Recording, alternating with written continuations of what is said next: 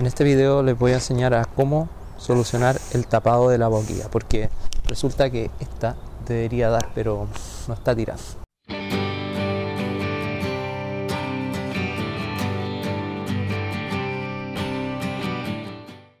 Para eso hacemos lo siguiente, nosotros lo que tenemos que hacer es sacar esto. Sacamos, ¿ven?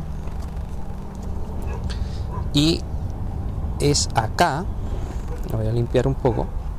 Bueno, y normalmente es ahí donde se tapa, entonces nosotros tenemos que ir sacando todas las mugres, ¿ven? Eso. Hay que ir sacando ahí y acá.